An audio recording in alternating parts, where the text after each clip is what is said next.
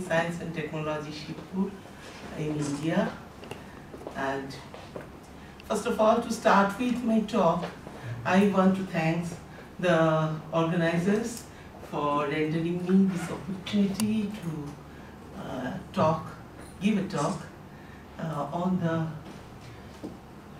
topic towards formulating environmental vulnerability index in fragile ecosystem and study of Indian Sundarbans.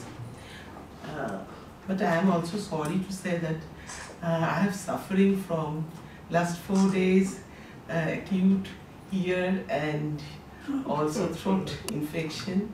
So, like, like uh, my colleague from uh, NIT Durgapur. But I am trying best with my uh,